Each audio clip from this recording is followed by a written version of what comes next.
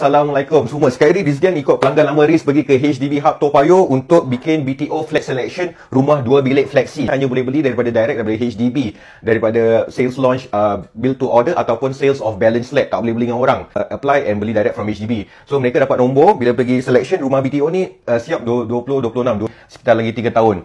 Mari kita harganya. Kita tengok isteri dia 59 tahun dengan suami dia 70 tahun. Jadi ini main peranan. Pasal dia kena ambil shortlist ada 45 years 40 tahun dengan 35 tahun dan sebagainya. Dia kena ambil list yang memenuhi.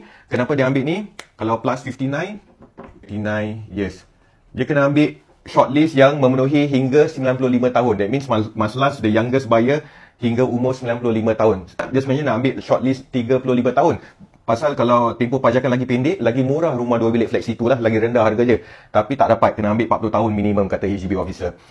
Dia pilih tingkat rendah, ada harga 64,900 dolar. Lepas tu dia kena bayar premium 20% of the flat price. Premium ni apa? Premium ni seolah-olah macam resale levy tapi dia bukan. Pasal dia special untuk turun flexi ni, bayar levy ni gunakan CPF jadi nama dia tukar, dia panggil premium. Pasal resale levy kena bayar cash.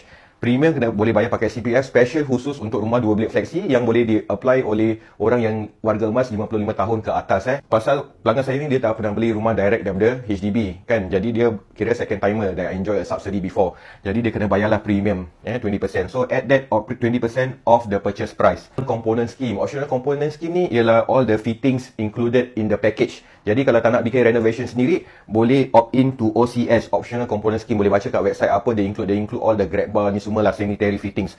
Dia about 6,200 dolar. Tu beli-beli rumah ni dekat Singapore ni, baik private ataupun HDB kena bayar stamp duty. Eh ni estimate lah. It should be uh, rendah daripada tu, about 1,000 saya round up. Dan conveyancing pun can be slightly cheaper. It should be 100 dollars.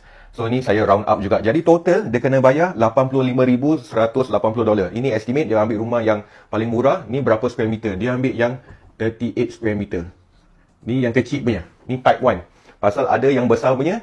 Uh, mari lihat video saya seterusnya untuk tengok berapa harga rumah yang lagi besar. Siapa sini uh, mengharapkan nak beli rumah dua bilik fleksi atau lagi menanti rumah dua bilik fleksi? Angkat tangan eh ataupun komen kat bawah. Saya doakan semoga urusan anda berjalan dengan lancar. Amin. Assalamualaikum.